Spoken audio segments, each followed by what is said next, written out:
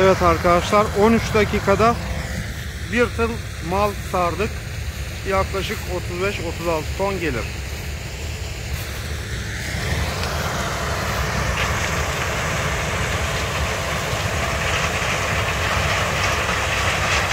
Makinalarımız bir adet Lexion 620 bir adet Trion 640 İkisinde de 8'li aktif tablo var.